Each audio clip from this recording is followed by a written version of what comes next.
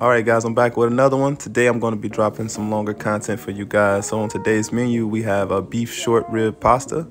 Yes, that's right, beef short rib pasta. Make sure you watch the video to the end. Let's get to it. All right, first, we want to get you some tomato paste. All of the seasoning and instructions will be in the comment box below or in the description box below. So don't worry if I'm moving too fast. I got you. So just want to add some olive oil to that. You're just going to mix it in really well. Then we're going to add our short ribs. All right, so then next you wanna add the seasonings that you see on the screen. I use some Slap Your Mama Cajun seasoning, some paprika, salt, pepper, cumin, oregano, and I use garlic powder as well. Also, I added just a little bit more olive oil to the top of the, the short ribs just to blend the seasons in really good. All right, and you want to just pretty much get that. You wanna mix it in really well.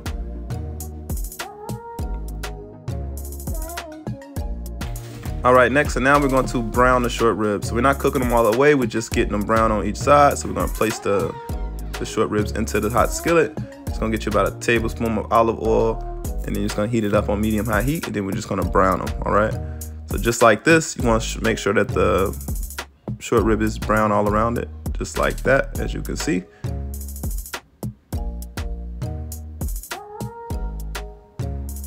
All right, next we're gonna put it in the oven, all right? So I just got me a skillet, just get your non-stick skillet, or you can use whatever pan you use for the oven is fine. And then you just wanna add you some beef broth. I added me a little beef broth to it, about a half a cup of the beef broth. All right, then you're going to pretty much, we're gonna wrap it up and we're gonna place it in the oven on 350 degrees for about an hour. All right, then next you want to add your noodles. We're gonna add that to some boiling hot water. We're gonna cook those for about nine to 12 minutes.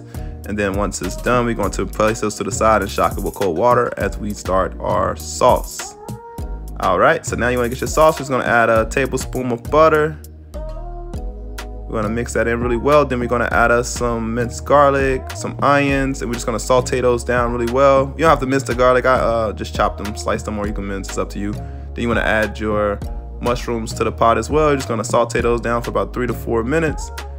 And then next we're going to add our tomato paste. We're gonna add like a tablespoon of tomato paste. We're just gonna blend that in. You just wanna make sure that the tomato paste and the, the vegetables are all blended in really good. So we're just gonna mix that in for a couple minutes. And then next we're going to add our heavy creamer, all right? So you're gonna add about a cup of the heavy creamer. A cup, cup and a half of heavy creamer. Depends on how creamy you want it, how, how saucy you want your noodles. So it's really up to you. All right, and then after that, you're just going to start to add our seasonings. I used garlic powder, salt, onion powder, and I put some more slap your mom in there as well, guys. Just be careful with that and some lemon pepper seasoning. About a teaspoon of that, it's pretty spicy. Or you can use regular Cajun seasoning. All right, you just wanna stir that in. We're gonna bring that to a bubble. Once it starts to condense, we're going to add our Parmesan cheese. As you can see, I use fresh Parmesan cheese. You can use the package, it's up to you. It's just the Parmesan, the fresh Parmesan melts a lot better. All right, once the sauce is ready, you wanna add the rest of your noodles back to the pot. If it's not enough sauce compared to the noodles, you can just add more creamer. That's why I said a cup to a cup and a half because sometimes, you know, you just underestimate it. All right, and lastly, you want to pull out your short ribs. It's been an hour now. We're just gonna chop those down and we're going to place those on top of the pasta. Just make sure you break it down really good. Just cut it as small as you would like or as big as you would like